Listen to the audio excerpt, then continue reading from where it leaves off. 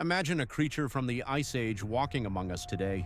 Yes, scientists have brought dire wolves back from extinction after 10,000 years. You might be wondering, how is this possible? With advanced genetic technology, researchers have successfully cloned dire wolves from ancient DNA. Dire wolves roamed North America during the Pleistocene epoch. They were larger and more powerful than modern wolves, with a bite strong enough to crush bones. After years of meticulous work, the first dire wolf pup was born in a lab. It was a monumental moment, proving that extinct species can be revived. But bringing back an extinct animal isn't just about cloning.